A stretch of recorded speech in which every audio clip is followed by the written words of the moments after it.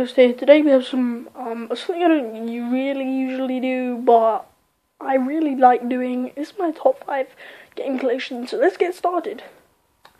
So coming in five on my list, I'd have to put LA Noire for PS3. Now this may surprise a lot of you games, but I just loved it. It's by Rockstar, obviously. Uh, with the open world, you obviously you can open world it, and it's really awesome. You can interrogate people, you can get all sorts of guns, you can get awesome characters, awesome storyline, awesome world, awesome cars. I really liked it, and there's not much else to say, but I think it should include multiplayer. So coming in at number four on my list, I'd have to put Hitman Absolution. Now, I'm a massive fan of the Hitman series. Um, brilliant, brilliant freaking game. It was just so awesome how you could go through so many strategies. How you could actually explore the map, not mind the world, but you could explore the map. You could go through all sorts of ways. You could go through the ending of the ways. You could like, oh, I don't know, it was so fun. You could go through it as a, a silent assassin, or you could go through with a big old Terminator style with guns and shoot everyone, and it was so awesome, and I really enjoyed it. That's why I'm putting it on my number four list. I know guys, this was a tricky one, so I just decided to do both. Today we have Borderlands 1 and Borderlands 2. I couldn't think of either one to put on my list, so I thought I'd just do both. Um, they both have awesome qualities. Borderlands 1 was freaking awesome. I loved it. Couldn't stop playing it. I played it for, I remember, two days straight just on the game. It was so awesome. Oh man, I can't explain how much good this game is. So many guns, so many open world, so many characters, brilliant storyline. Oh, just great game. Number two, however, kicked it up a big notch, like a bigger um campaign. There were better characters.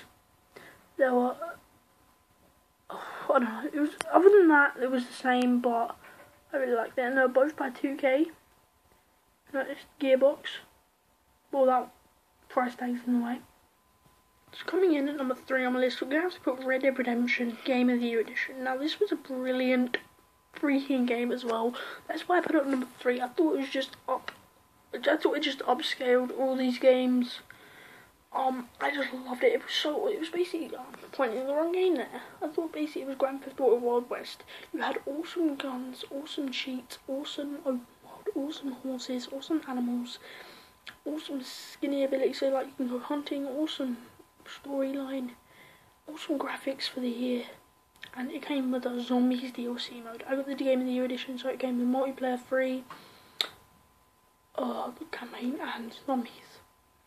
It's also, in case you haven't noticed, by Rockstar, so that's an awesome game designer. So coming in last, the best and thing I thought my the personally favourite game was now guys, I'm gonna admit, I didn't. This is only on the number one spot because I don't really know. If guys, I I really enjoyed this game a lot. Awesome combat, awesome storyline, awesome tactics, awesome characters, awesome voice acting, awesome sounds, awesome music, awesome map. I don't know, that's that's how good it is. It's just brilliant. Now, if I had to upscale it, it probably would have been just Cause 2, or Assassin's Creed 3, or last and finally, Prototype 1 and Prototype 2. So hopefully guys that is it for today and I will see you guys in my next video. So comment, rate, subscribe. I'm Theo Daniels and I'll be back in my next video.